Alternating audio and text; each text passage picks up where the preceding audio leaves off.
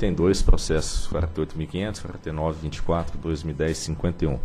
Proposta de abertura de audiência pública com vistas a colher subsídios e informações para o aprimoramento da proposta de retificação da Resolução Normativa 482 de 2012, a qual estabelece as condições gerais para o acesso de micro e mini geração distribuída ao sistema de distribuição de energia elétrica. Cria o sistema de compensação de energia e aprova as revisões 4 do módulo 1 introdução e 4 do módulo 3, acesso ao sistema de distribuição do PRODIST, de forma a contemplar a inclusão da seção 3.7. Diretor relator, Dr. Romeu Donzete Rufino. O processo que deu origem à Resolução Normativa 482-2012, aprovada em 17 de abril de 2012, teve início em setembro de 2010, com a realização da consulta pública 015, realizado pela SRD e prosseguiu pelo ano 2011, quando a ANEL abriu audiência pública 42 para recebimento de contribuições relacionadas à minuta de resolução e a minuta de nova sessão do modo 3 do PRODIST, em com proposta para, é, para reduzir barreiras para a geração distribuída com potência instalada menor ou igual a 1 MW. Em 1 de novembro de 2012, a ABRAD protocolou correspondência à ANEL, esclarecendo que o fisco entenderia a operação de crédito de energia eh, elétrica da resolução normativa mencionada como compra e venda de energia elétrica, até que novo, nova disposição venha aclarar a sua natureza como empréstimo de energia. Além disso, a ABRAD solicitou adiamento do prazo estabelecido no artigo 3 da Resolução 482, o qual estabeleceu que as distribuidoras devem adequar seus sistemas comerciais e elaborar seus e, e, ou revisar normas técnicas para tratar do acesso de microgeração e mini geração distribuída em até 240 dias a partir da publicação da citada resolução. É o relatório. Procuradoria. No âmbito desse processo, a Procuradoria já havia se pronunciado por meio do parecer número 108 de 2012. No momento, trata-se de proposta de abertura de audiência pública e, e, nesse aspecto, ainda não há questão jurídica controversa, que se surgir, a Procuradoria poderá ser instada a se pronunciar. Então, tendo em vista os questionamentos surgidos durante o processo de audiência pública, a SRD realizou consulta à PGE por meio de memorando aí mencionado sobre a incidência de impostos e tributos estaduais e federais na fatura dos consumidores que aderirem ao sistema de compensação de energia elétrica e se tal relação configura-se como comercialização de energia.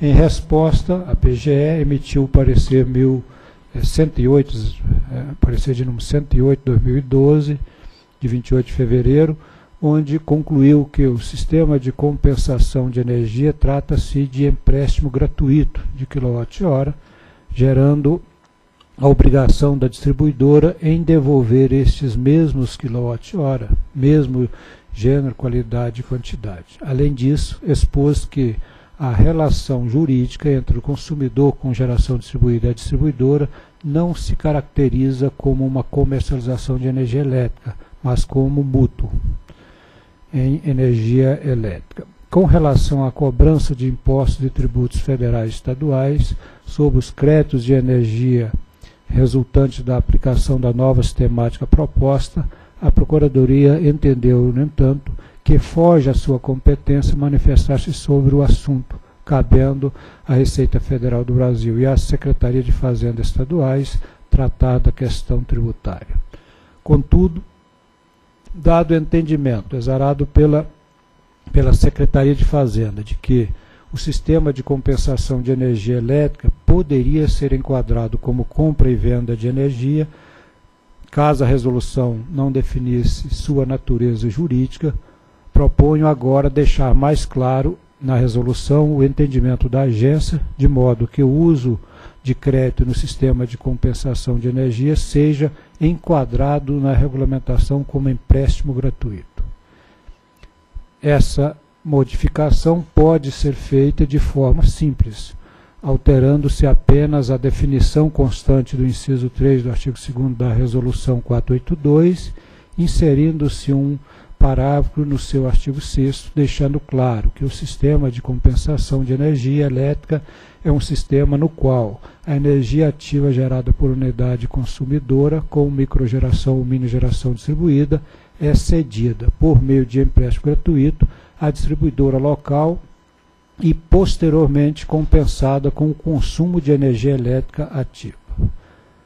Com o intuito de adequar o inciso 4 do artigo 7 e a, a, definição do sistema de compensação de energia elétrica, caracterizado como empréstimo gratuito de energia, proponho também alterar a redação desse dispositivo, limitando a possibilidade de uso dos créditos de energia ativa às unidades consumidoras de um mesmo titular, no caso o mesmo CPF para pessoa física ou CNPJ para jurídica.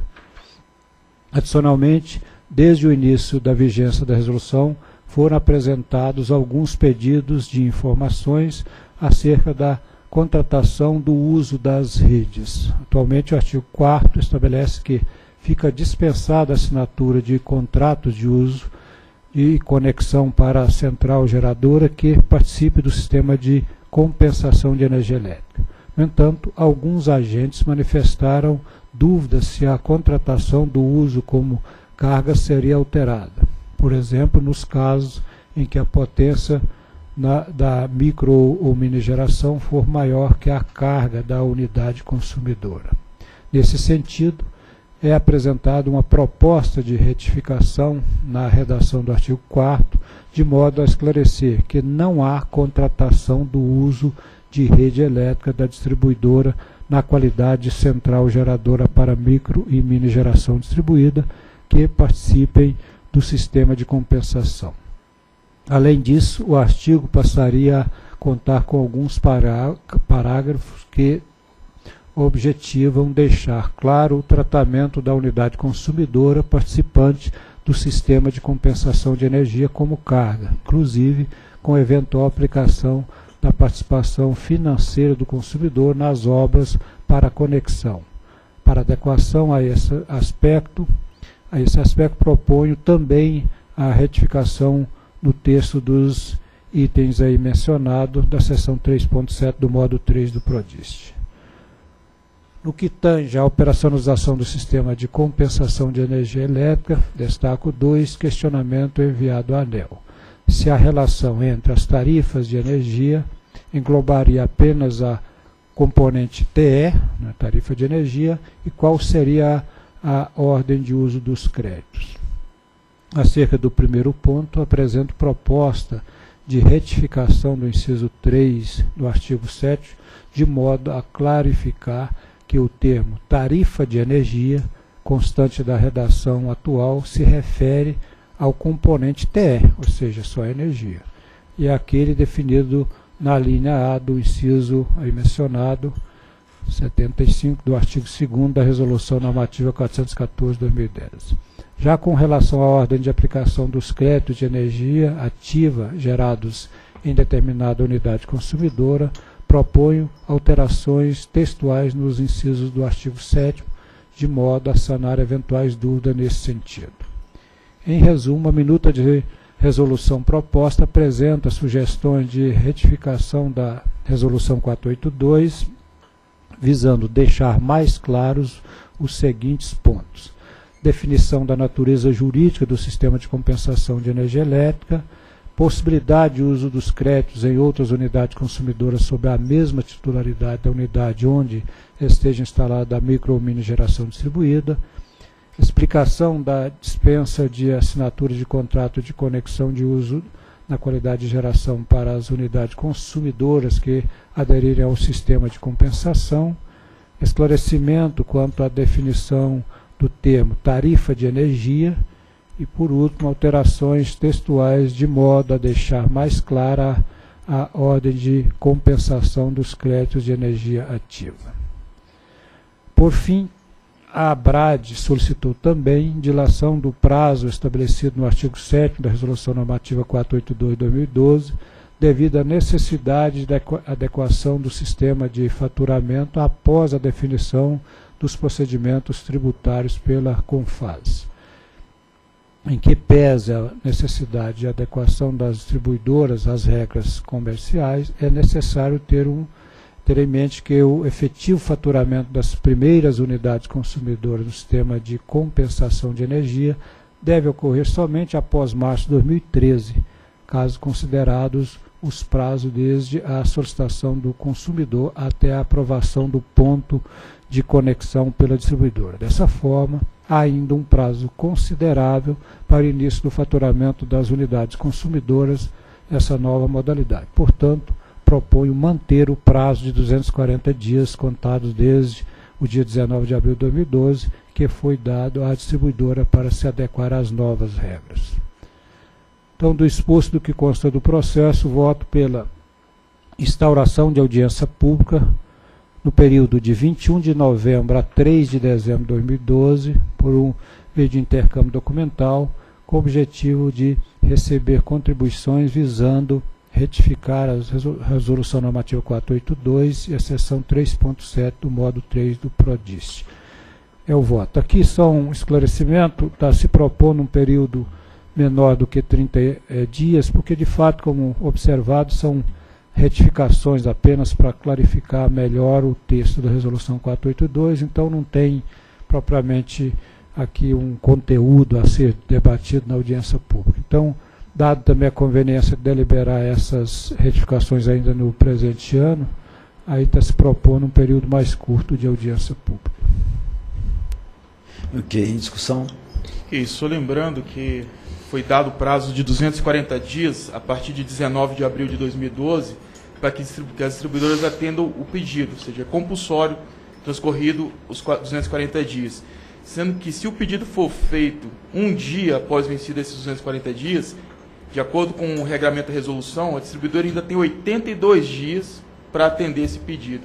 Então tem prazo mais que suficiente para que a empresa adote todas as práticas e todas as atualizações no seu sistema comercial para atender essa demanda dos consumidores. Está adequado o encaminhamento proposto pelo relator. É, eu acho que a essência da, da mudança aí, que é esclarecer a questão do empréstimo de energia, é essencial para que isso vingue, senão a gente corria o risco de criar uma tributação em cima desse processo que praticamente inviabilizaria a experiência da implantação de microgeração no país. Né? Então acho que vai ser uma bastante significativa e importante também. Né? É, o importante é que os estados não cobrem ICMS sobre esse crédito de energia do consumidor. Aí, diante da, da retificação que se promove no texto hoje, torna-se claro que não há comercialização de energia, é troca de energia entre o mesmo CPF né? ou mesmo CNPJ, conforme o relator dominou, nominou, é um mútuo, é um empréstimo gratuito de energia, em que você tem os 36 meses para utilizar e de forma alguma isso pode ser caracterizado como comercialização de, de energia, que ensejaria né, a cobrança do ICMS e o que inviabilizaria essa transação. É, a bem da verdade, na minha percepção, até isso já estava suficientemente claro. Né? É, mas é, se vem na direção de ajudar para não restar nenhuma possibilidade de uma interpretação equivocada do sentido da norma, né? então eu acho que é um reforço oportuno de ser feito, até para não criar uma contingência das empresas junto às autoridades tributárias. Né? Acho que o Romeu pontua bem, é até importante os que acompanham essa deliberação, o que se está promovendo aqui hoje não é nada de novo.